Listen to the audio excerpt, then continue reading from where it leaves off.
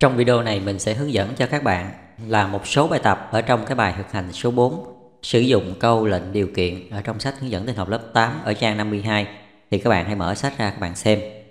À, trong đây nó sẽ có ba cái bài tập thì mình sẽ hướng dẫn từng bài cho các bạn. À, bây giờ mình sẽ khởi động phần mềm Repascal lên trước.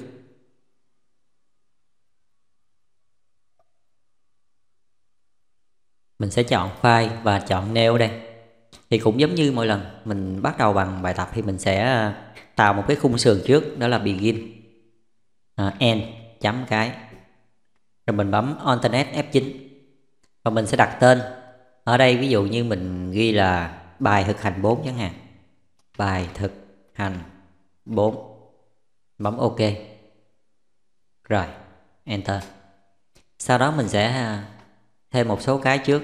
Uh, grid ln à. à, chấm phẩy và ở trên đây mình khai báo à, thư viện CRT USES à, CRT chấm phẩy và bên dưới begin này mình sẽ dùng câu lệnh xóa màn hình là CLR SCR chấm phẩy mình đây mình cắt ra. Rồi. Thì mình sẽ bấm Alternate F9 để kiểm tra lại như vậy thì mình đã bắt đầu có thể à, tạo một cái công thức được rồi. Mình sẽ tiến hành mình làm bài số 1 thì cái bài số 1 người ta yêu cầu mình là à, viết chương trình nhập hai số nguyên A và B khác nhau từ bàn phím và in hai số đó ra màn hình à, theo thứ tự không giảm. Có nghĩa là các bạn nhập vào một cái hai số số A và số B. À, ví dụ như số à, 5 và số 7 chẳng hạn thì sau đó các bạn xuất ra màn hình à, theo thứ tự là à, số à, nhỏ trước và số bé sau. Ví dụ như trường hợp các bạn nhập số A là 5 ờ, ờ, số B là 7 thì xuất ra màn hình nó là 5 57 à, trường hợp các bạn xuất ra à, nhập vào số A là 8 số B là à, 4 thì trường nó vẫn nhập ra à, đúng theo thứ tự nhỏ trước lớn sau đó là 48 thì bây giờ mình sẽ đưa vào đó là nội dung của cái bài tập số 1 này. Mình đưa vào Pascal thì các bạn sẽ khai báo như thế nào. Ở đây các bạn sẽ thấy có hai số nguyên A và B thì như vậy mình sẽ khai báo à, biến A B trước. Ở nằm ở bên dưới begin. Ở trên begin và dưới siêu uh, ờ, CRT à, và à, mình sẽ tắt cái chế độ tiếng Việt đi. Bấm vô đây. À, và A phẩy B hai chấm.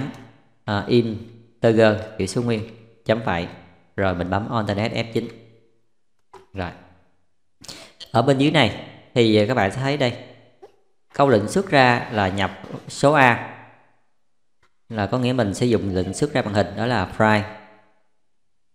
À, mở ngoặc dấu nháy nhập số a hai chấm cách một khoảng trắng đóng nháy lại đóng ngoặc chấm phẩy cắt ra. Sau đó là read lần à, a nhập vào biến a chấm phẩy. Rồi mình bấm alternate F9 để dịch. Mình sẽ bấm Ctrl F9 thử.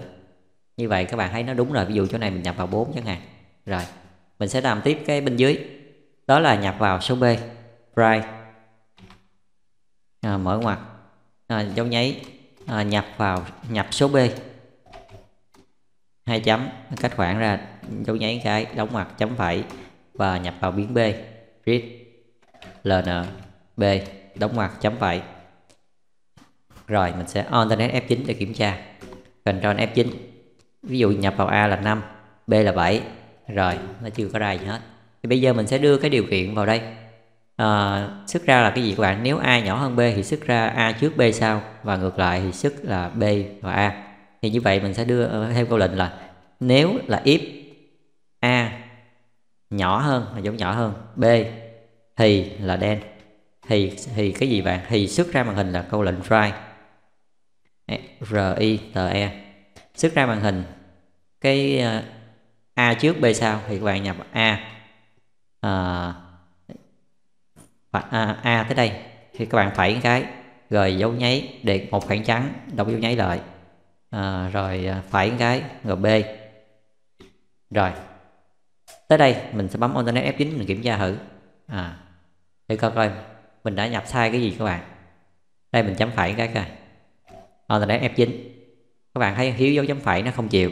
Rồi như vậy thì mình sẽ bấm ờ, Ctrl F9 ví dụ như mình nhập vào A là 5 B là 7 thì nó sẽ ra là 57 rồi. À, nhưng mà tới đây à, nếu mà ngược lại b lớn hơn a thì xuất hiện ra b trước a sau thì mình sẽ thêm vào đây. Ngược lại mình bỏ đây đi mình bấm L L S E ngược lại thì nếu a nhỏ hơn b thì xuất ra a à, trước b sau a cách khoảng trắng rồi b. Ngược lại thì xuất ra là ba thì các bạn là ngược lại câu lệnh xuất là fry mở ngoặc. B phải à, dấu nháy một khoảng trắng. Dấu nháy a à, đóng ngoặc lại chấm phải. Rồi mình bấm alternate F9 để dịch. Sau đó mình chạy chương trình luôn control F9 đầu tiên nhập vào số A ví dụ như là 5 à, B là 8 thì các bạn thấy số nhỏ trước nó sẽ là 58 à, rồi bây giờ mình bấm ờ, Ctrl F9 lại. Ví dụ như mình nhập A lớn hơn B đi thì nó sẽ xuất ra có đúng không nha? A là 9 à, ờ, B là 6 à, thì nó vẫn nhập ra đúng thứ tự là 69 thì khi đó nó sẽ tự động đảo B ra trước à, ngoài, ngoài trước. Thì đây là cái bài thực hành à, bài tập bài số 1 ở trong cái phần thực hành bài thực hành 4 này. À, tiếp theo là mình sẽ qua cái bài số 2 ở đây về cái chương trình là nhập chiều cao của hai bạn Long và Trang à, rồi in ra màn hình để so sánh coi bạn nào cao hơn. Thì các bạn sẽ thấy ờ, ở trong trường hợp này nó sẽ có xảy ra ba trường hợp. Đó là bạn Long cao hơn bạn bạn Trang hoặc là bạn Trang cao hơn bạn Long hoặc là hai bạn bằng nhau. Thì mình sẽ khai báo biến như thế nào à, và xuất ra cái dùng cái câu lệnh như thế nào. Ở đây người ta cũng có gợi ý rồi nhưng mà mình sẽ làm theo hướng dẫn cho các bạn xem. Ví dụ như bây giờ các bạn để ý là mình sẽ khai báo biến trước. Bây giờ mình xóa cái này đi rồi mình bỏ đen này ra mình bấm edit kết. Mình khai bỏ cái biến này đi. Biến này mình sẽ đặt tên cái biến theo như trong sách là biến tên là long à, phải. Biến tên là trang hay cũng cái kiểu này nhưng mà mình sử dụng cái kiểu integer ờ, kiểu số thực đi. Bởi vì ví dụ như uh, có ví dụ như bạn long đó bạn cao 1,8 thì mình uh, ghi là 1,8 thì cái integer nó không có phải chính vì vậy các bạn khai, khai báo kiểu số thực là real. Mình bấm on internet F9 thôi. Rồi tới đây. Mình sẽ uh, mình sẽ nhập vào cái câu lệnh ở đây. Câu lệnh xuất ra màn hình uh, fry. Uh, mở ngoặc. Uh, dấu nháy. Uh, nhập vào chiều cao của bạn Long. Nhập vào chiều cao uh, bạn Long. Uh, hai chấm cách khoảng dấu nháy cái. Đóng ngoặc chấm phẩy rồi read. Ln uh, cái biến của tên của bạn Long. Long chấm um, đóng ngoặc chấm phẩy. Mình bấm internet F9 để kiểm tra lại rồi tương tự như vậy mình sẽ nhập vào chiều cao của bạn trang. Right. À, nhập vào chiều cao. Bạn trang hai chấm. Cách khoảng trắng cái như vậy đóng mặt chấm phẩy. Read ln à, trang. Đóng mặt chấm phẩy. Rồi mình bấm alternate F9 thì các bạn chạy thử thành Ctrl F9 thì các bạn sẽ thấy nó xuất hiện ra chiều cao của bạn Long. Ví dụ như 1,8 1 1 uh, 1 uh, 5 à mình bấm Ctrl F9 dấu phẩy nó hiểu mà phải là 1.5 nha các bạn. Còn bạn bạn trang là ví dụ như uh, 1.7 uh, là 1m7 các bạn. Đó ví dụ vậy. Nhưng mà tới đây nó chưa có so sánh vì mình chưa nhập vào cái điều kiện. Thì các bạn có thể tham khảo sơ, sơ trong đây thì nếu lông lớn trang thì gì đó rồi ngược à, rồi nếu gì đó rồi thì gì đó. Rồi ví dụ như ở trong đây nó có ba trường hợp. Ở đây các bạn sẽ thấy ở đây là nếu nếu lông à, giá trị của lông mà lớn hơn trang thì thì đó là đen. Thì xuất ra màn hình cái gì bạn? Thì xuất ra right kết luận là bạn à, lông cao hơn. Bạn trang. Rồi các bạn sẽ nhìn thấy đây. Tới đây. Tới đây mình sẽ chấm phải xuống hàng. Rồi ờ, chỗ này. À, các bạn sẽ thấy chỗ à, ở đây. Ngược ở đây mình sẽ là à, xóa chỗ này cũng được. Rồi mình xuống hàng đây đi. Eo lại ngược lại. À, nếu à, trang à, lớn hơn long hoặc là long à, hồi nãy nhỏ lớn hơn thì long à, nhỏ hơn trang đi cho nó gì các bạn dễ nhìn.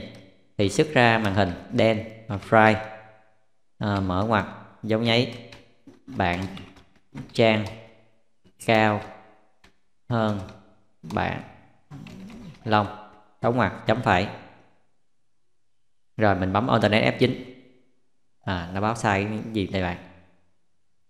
À, trên đây mình thiếu cái dấu ờ,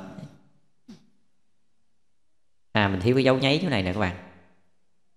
Rồi mình bấm Internet F9 vẫn còn sai. Thì à, ở đây mình sẽ kiểm tra lại ở đây mình thêm cái dấu à, dấu chấm phẩy đây nữa kìa. Internet F9 ở đây thì các bạn hãy ờ, để mình sẽ kiểm tra lại chỗ này. Else. Chỗ này mình để mình xem đây mình sẽ kiểm à để mình uh, kiểm tra lại.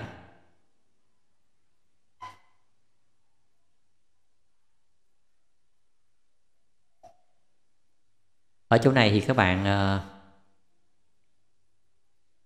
xóa cái chữ em này đi mình bấm alternate F9 ở đây nó vẫn còn báo lỗi thì không sao các bạn hãy kiểm tra xem nó nó báo lỗi chỗ nào.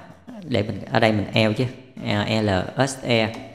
Ở đây thì mình thiếu cái dấu ở chỗ này mới đúng nè. Mình bấm alternate F9 vẫn còn sai chỗ đây. À, nếu lòng mình sẽ kiểm tra lại. Sau đó xuất ra fry ngược lại, nếu lông nhỏ hơn trang thì xuất ra fry bạn trang cao hơn bạn lông chỗ này. Mình xóa cái dấu chấm phải đây thử rồi mình bấm alternate F9 rồi, các bạn thấy ờ, trước khi mà có chữ L này nè, thì các bạn không có được ờ, để cái dấu chấm phẩy đây, thì nó mới chấp nhận. Các bạn cũng lưu ý chỗ này nha.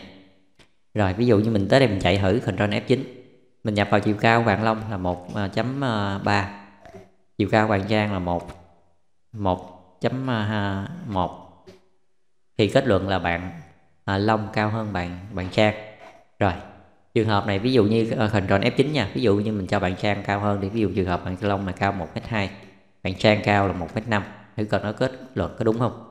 Thì nó sẽ ra kết quả là bạn trang cao hơn bạn Long. À, như vậy thì à, à, nếu như nếu như mà còn một cái điều kiện nữa thì các bạn sẽ thấy ở đây có thể uh, gộp lại nhiều cái điều kiện khác nhau. Thì chỗ này ví dụ như các bạn sẽ thấy ở đây người ta ở đây người ta cho hai cái if và cái eo và các bạn nhìn ở bên dưới nè à, câu lệnh điều kiện lòng nhau. Nếu điều kiện một thì cái câu lệnh hai ngược lại nếu điều kiện thì câu lệnh hai ngược lại thì chỗ này mình sẽ sửa như thế này. À, ví dụ như tới đây nếu lông cao hơn lớn hơn trang thì xuất ra màn hình là bạn lông cao hơn bạn trang.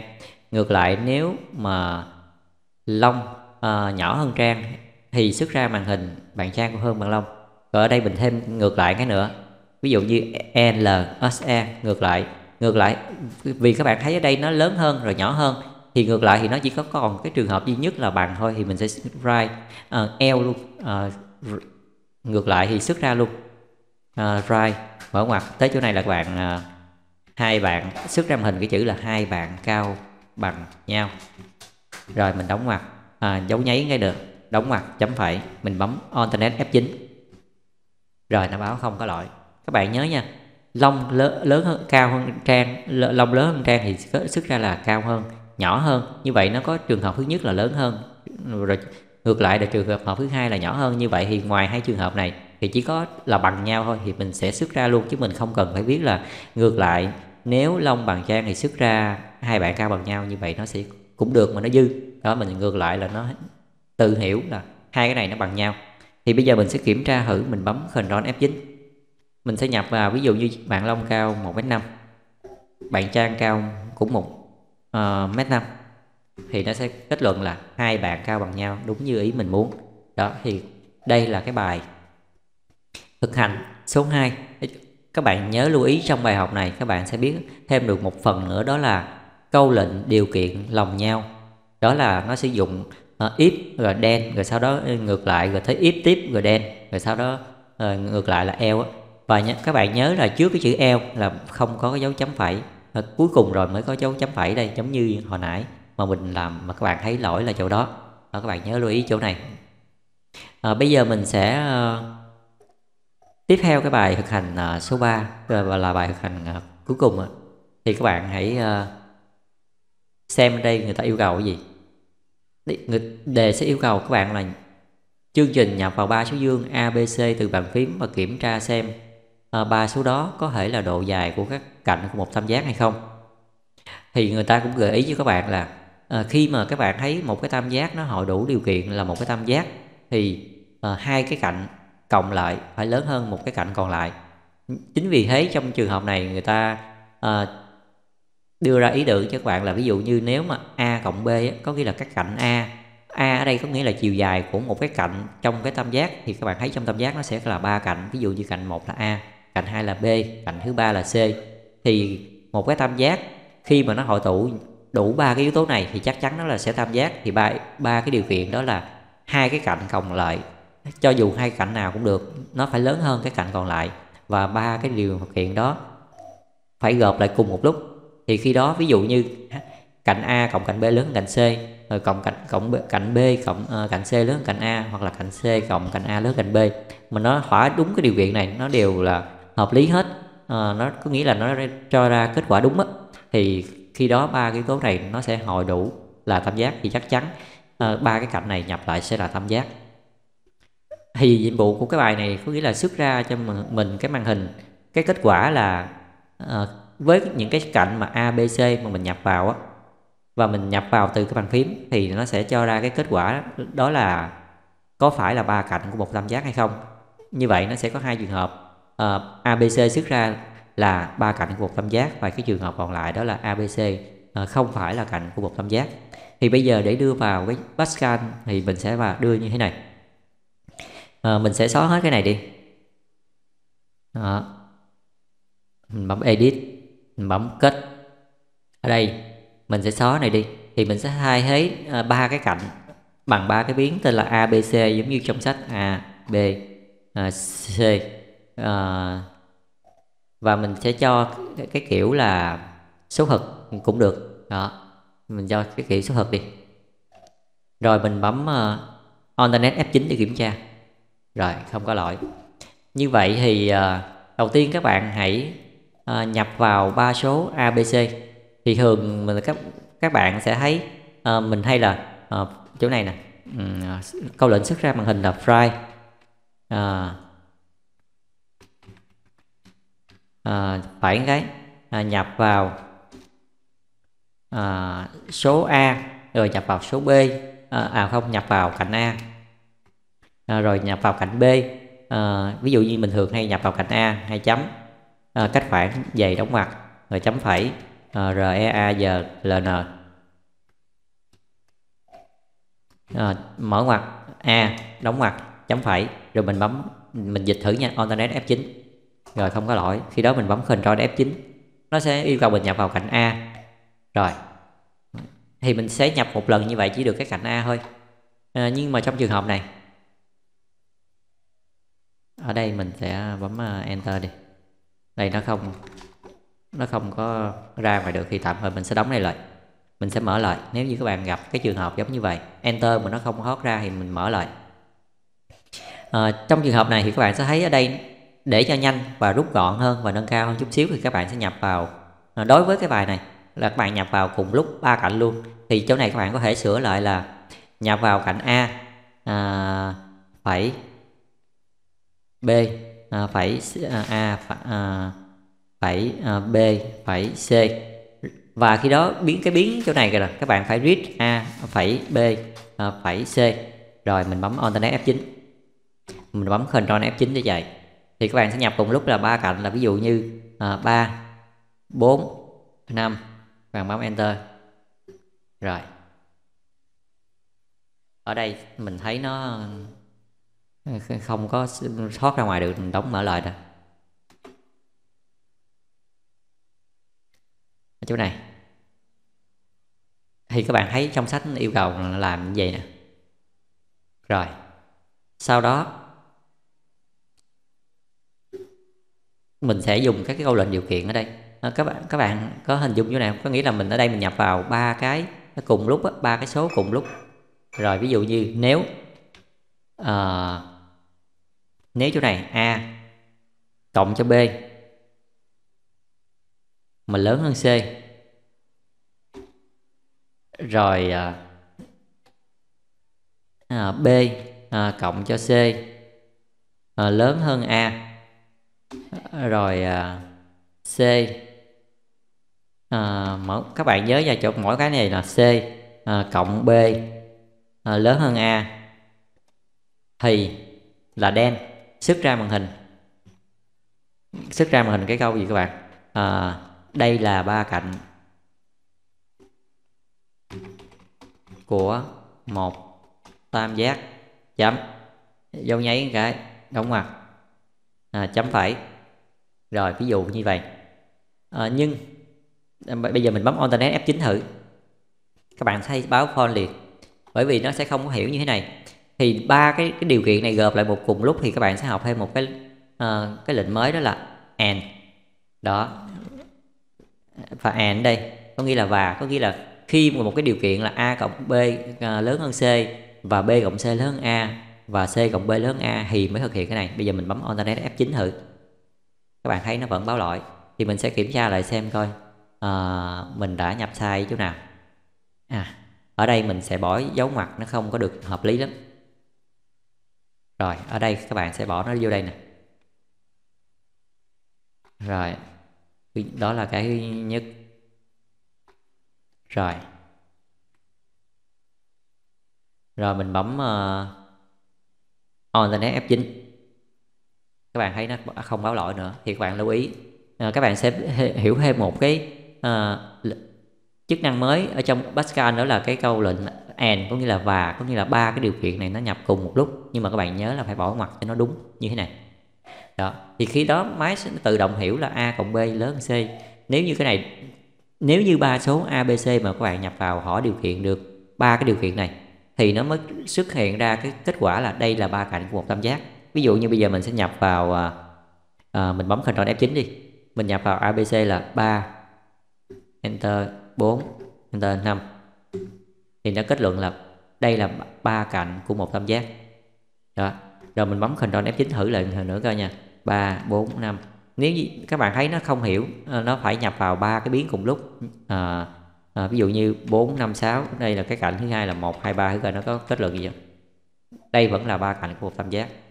Rồi thì cái chỗ này nè à, mình à, read lên à, này nè. Nó cũng có một cái ưu điểm và nhược điểm. Ví dụ như à, ở đây đi tới đây read mình bấm uh, alternate F9 rồi mình bấm Control F9 ví dụ như mình nhập vào số à, uh, 3 Enter số 4 số 5 nó cũng ờ, không ra cái kết quả được. Chính vì vậy các bạn phải dùng readlearner nhưng mà ở đây thì các bạn sẽ khó hơi nhìn chút xíu. À, chính vì vậy để cho dễ nhìn hơn. À, so với trong sách á, thì các bạn sẽ thấy để cho tránh cái trường hợp à, mình bấm alternate F9 nha Ctrl F9 à, tránh trường hợp mà cái đầu tiên này nó trên cùng nè. Ví dụ như cạnh A nó là 3 cạnh B nó là 4 cạnh C nó là 5 thì để cho dễ nhìn nhập vào cạnh thì các bạn nên uh, áp dụng theo cái cách mà mình hay hướng dẫn cho các bạn để chia ra đi chứ còn gộp lại thì nhìn nó không được nhưng mà nó không đẹp lắm. Ở đây nó chỉ xuất hiện ra cái cạnh A ở trên thôi còn cạnh B cạnh C nó phải xuống hàng. Thì bây giờ mình sẽ xóa này đi mình sẽ nhập lại thôi. A à, rồi chỗ này mình read A. Rồi chỗ này à, mình nếu các bạn nhanh các bạn có thể bôi đen này edit bôi đen copy rồi các bạn bấm vào đây à, các bạn bấm uh, edit path rồi các bạn sửa cái này lại. À, b rồi đây là b. Ở đây mình xuống hàng cái mình bấm edit path tiếp. Rồi nhập vào cạnh C. Đó cũng là một cái cách giúp cho các bạn nhập nhập nhanh mà đỡ sai nữa. Rồi mình bấm uh, alternate F9 để dịch. Rồi control F9 thì các bạn thấy nhập vào cạnh A ví dụ như là 3 cạnh B là 4 cạnh C là 5 thì các bạn sẽ thấy nó dễ nhìn hơn. Ở đây nó kết luận luôn nè tại vì mình đã có câu điều kiện rồi và các bạn bấm enter là nó sẽ trở ra lời. À, như vậy nếu như ở đây nếu họ đừng họ uh, đáp ứng được ba cái điều kiện này thì xuất ra là đây là ba cạnh của tam giác. Nhưng ngược lại nếu như không ờ, không đáp ứng được ba cái điều kiện này thì nó sẽ xuất ra cái màn hình là đây không phải là ba cạnh của tam giác thì chỗ này các bạn có thể xóa cái dấu. À, chấm phẩy đi đi các bạn. À, xuống hàng cũng được không xuống hàng cũng được. Mà ngược lại LSE ngược lại thì xuất ra à, xuất ra thì các bạn dùng cái lệnh try. À, thì xuất ra cái gì bạn? Xuất ra cái câu đây à, không phải là ba cạnh của một tam giác. Không phải là ba cạnh của một tam giác. Chấm dấu nháy đóng ngoặc chấm phẩy. Rồi mình bấm alternate F9 rồi mình bấm Ctrl F9 ví dụ như mình nhập vào cạnh A 1 cạnh B 1 cạnh C 1 đây nó cũng báo là đây là ba cạnh của một tam giác rồi đây mình ví dụ như mình nhập lại số khác thôi on F9 à, không không không. Thì nó báo là đây không phải là ba cạnh của một tam giác vì nó không đáp ứng được đủ ba điều kiện trên. À, thì à, đây là cái nội dung của cái bài à, thực hành à, số 4 nó gồm có ba cái phần chính đó. Thì các bạn cũng à, lưu ý thêm ở cái bài này nó có kết hợp thêm một cái lệnh à, uh, and thì đó là sử dụng từ khóa and uh, và khi nào sử dụng từ khóa o thì à, các bạn hãy xem thêm ở cái phần tổng kết đây. Đó. Ờ, uh, and thì có nghĩa là bạn đáp ứng cùng lúc ba điều kiện này còn o thì các bạn một trong hai. Đó các bạn nhớ lưu ý cho đó các bạn xem thêm trong sách. À, thì nội dung của cái bài thực hành số 4 này nó chỉ có như vậy thôi à, các bạn nhớ xem thật kỹ video để làm cho đúng. À, nếu như có chỗ nào các bạn không hiểu à, hoặc là các bạn không làm được thì các bạn hãy để lại trong phần bình luận ở bên dưới video à, mình sẽ cố gắng giải đáp cho các bạn. À, các bạn nhớ đừng quên nhấn nút đăng ký ở bên dưới video để thường xuyên nhận được những video mới nhất của mình. À, ngoài ra khi nào mà các bạn có thời gian rảnh thì các bạn hãy ghé thăm website của mình là lê kim quốc com. Thì ở trên đây mình đã tập trung hết toàn bộ những video hướng dẫn về tinh học mà mình biết được nhằm giúp cho các bạn học à, tinh học được tốt hơn. À, một lần nữa mình cũng rất là cảm ơn các bạn đã dành thời gian để xem những video ở trên kênh youtube cũng như là trên website của mình.